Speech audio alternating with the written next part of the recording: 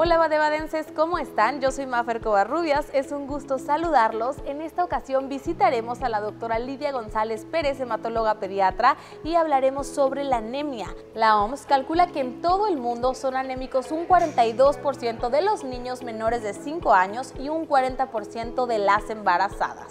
Muchísimas gracias por recibirnos, es un placer compartir y conocer ahora sí que por parte de los especialistas.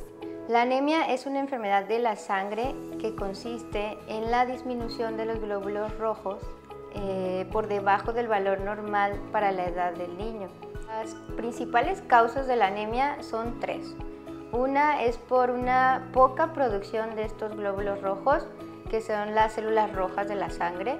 La segunda causa es porque hay una destrucción de estos glóbulos rojos y esto se debe a que los niños pueden heredar algún eh, problema eh, en la formación de los glóbulos rojos y no se debe a una deficiencia de, vitaminas o de hierro o una mala alimentación. Y la tercera causa es por pérdida de estos glóbulos rojos, ya sea en una hemorragia o algún sangrado importante en los niños. ¿Cuáles son los signos o síntomas que podemos observar en nuestros hijos, en nuestros niños, para a lo mejor podernos darnos cuenta o detectar que pudieran estar atravesando esta enfermedad? Sí, pues los síntomas más comunes son una piel pálida o amarilla. Puede presentarse en, los dos colores. Eh, puede haber cansancio o fatiga. Los niños generalmente disminuyen su aprendizaje también y los niños más pequeños se tornan un poco irritables.